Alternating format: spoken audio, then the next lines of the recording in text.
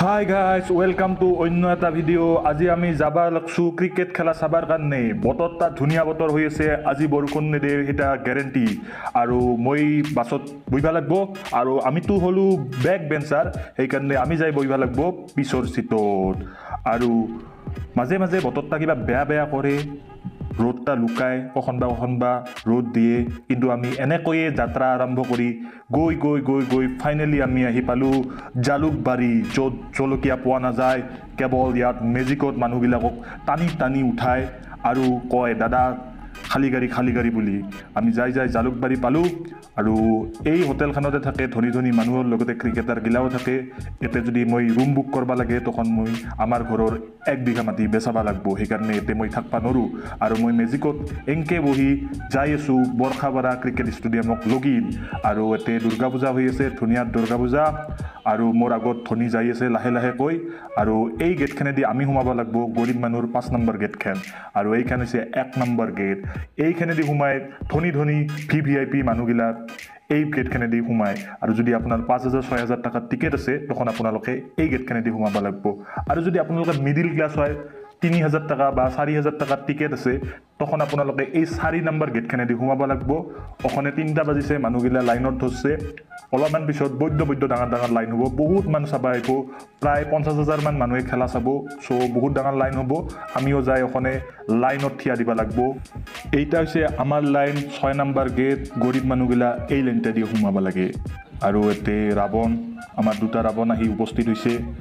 আৰু মই লাইনত থিয়া দিছোঁ আৰু নিজে নিজে ভিতৰলৈকে সোমাই যাই আছোঁ কাৰণ বহুত ভিৰ গেটখন খুলছে। এইখন হৈছে চেকিং গেট এতিয়া আমাক চেক কৰিব লাগছে বম চম লৈ আহিছা নেকি? তাকে চেক কৰিব লাগছে A K forty seven forty seven লৈ আহিছা নেকি? আৰু মই এতিয়া মাজত আৰু একবাৰ চেক হ'ব। ফাইনেলি মই চেকিংটো মোৰ কমপ্লিট হ'ল আৰু মই আহি সোমালোঁ বৰ্ষাপাৰা ক্ৰিকেট ষ্টেডিয়ামক লগিন অখন আমি একদম ওপৰত তালাত উঠবা লাগিব। একদম ওপৰত আমাৰ হ'ল বহাখন এতিয়া মানুহগিলাই লাইন পাতি লাইন পাতি যাব। এতিয়া একবাৰ আৰু আমাৰ টিকেটখন চেক কৰিব। অঁ বাবা দাদা আমি ফেক টিকেট অনা নাই। আমাৰ এইগিলা অৰিজিনেল টিকেট দুই হাজাৰ টকা দি আমি কিনছোঁ। অকণে আৰু পাছে পাছে মই যাব লাগিব।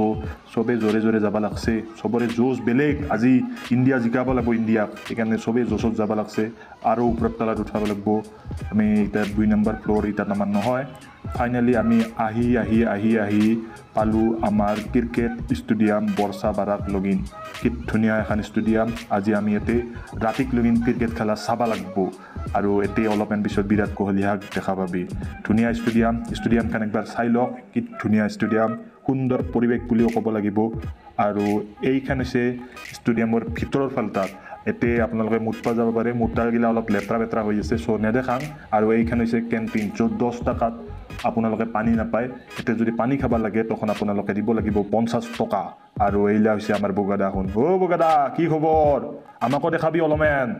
বগাদা বাৰে কেমেৰা কৰিব আৰু ইয়াতে আমাৰ এক্সপাৰ্টে শিকি আছে বল এনেকৈ খেলাব লাগছিল আজিকালি চলিগিলা এংকে খেলাই আমাৰ দিনত সেংকে খেলাইছিল সেইকাৰণে আমি মাৰিব পাৰিছিলোঁ আৰু ইয়াতে পিছখন চাব লাগছে বম চম আছে নেকি আৰু এতিয়া আমাৰ লাইট জ্বলব লাগছে দেৱালীৰ লাইট সন্ধ্যা বেলাৰ পৰা আৰম্ভ হয় জ্বলা ৰাতি বঢ়িয়াকৈ জ্বলব দেৱালীৰ লাইটগিলা আৰু এতিয়া আমাৰ মদ খাই আহিছে আমাৰ ৰবিদা ৰবি শাস্ত্ৰী দা এতিয়া মদ চদ খাই ৰেডি হৈ আহিছে আৰু মুখখন শুই ভাল লাগছে আৰু আমাৰ এতিয়া আকাশ চপ্ৰা জ্ঞান দিবা যাই আছে লাহে লাহে আৰু এতিয়া আমাৰ জাতিগিলা পিঠা লাৰু খোৱা কথা কৈ আছে এখন অসমত আহি যদি পিঠা লাৰু নাখালি কি খালি আৰু ইফালে পিছখনত বল কৰিব লাগছে ছাইডৰ পিছখনত এই ধুনীয়া বল ধুনীয়া বল এই বল তাত তই ছয় খাবি আৰু এতিয়া আমাৰ বিৰাট কোহলিয়ে প্ৰেক্টিচ কৰিব লাগছে বেটিং প্ৰেক্টিচ কৰিব লাগছে বিৰাট কোহলিয়ে মানুহগিলাৰ বেয়া যুঁজ আৰু এইখন তিৰপালখন আমেৰিকাৰ পৰা আনছে অলপমান বৰষুণ দিয়াৰ কাৰণে এই তিৰপালখন দেখাব লাগছে। আমি আমেৰিকাৰ পৰা এইবাৰ তিৰপাল আনছোঁ।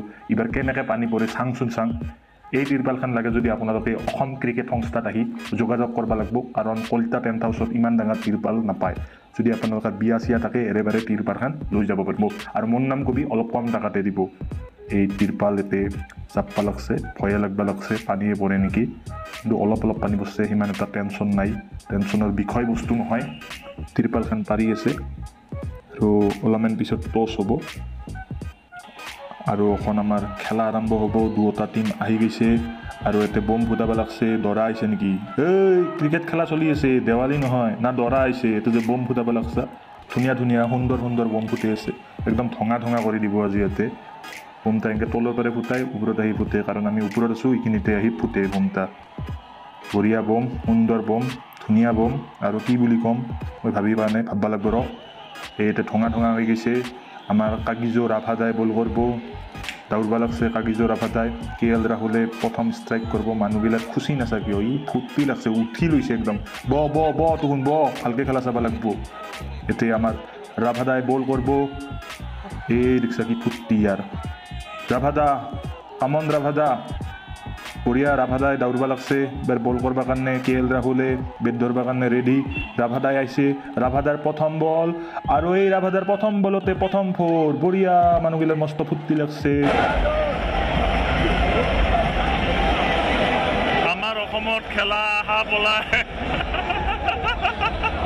একেলগে কহলি কহলি কহলি আইতা কহলি দেখা পাইছে না আপোনালোকে? মোৰ কেমেৰাটা সিমান ভালো নহয়। আইফোন ল'ব লাগিব আইফোন ল'লিহে দেখা পাবি। এই কোহলিৰ প্ৰথম বল এই ধুনীয়াকৈ ডিফেন্স কৰি দিছে বঢ়িয়া বঢ়িয়া টেনশ্যন নাই আৰু। এই কোহলিৰ মাৰি আছে এণ্ড্ৰিক নকিয়াৰ বল কোহলিয়ে বেট ঘূৰাই দিছে। আৰু এটা হ'ল চাৰি ৰান মানুহবিলাক আৰু ফূৰ্তি লাগছে। ফৰ্টি নাইন হৈ গ'ল কোহলিয়ে ফিফটি মাৰিব কিজানি। সেইকাৰণে এই বলটাও আপোনালোকক দেখাম। ধুনীয়া বল ইয়ৰ্কাৰ বল এক ৰান কৰিব নোৱাৰিল ফিফটিটা নহ'ল। আৰু এই দি দিনেশ কাৰ্তিকি মাৰবা লাগছে। কোহলিক এটা ষ্ট্ৰাইক দি দে বাবা।